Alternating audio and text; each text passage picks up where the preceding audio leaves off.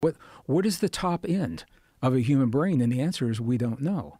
Because every time we push a human brain to what we think is the limit that we've been taught to accept, this is the beauty of our divinity.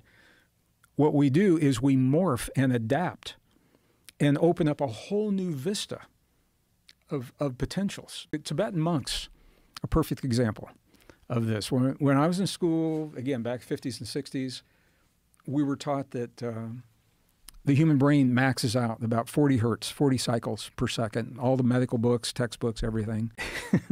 and then these Tibetan monks came along and they said, wow, if we do a certain kind of meditation, you know, we'll exceed that. And they bumped, they doubled it. They went to 80, 80 hertz.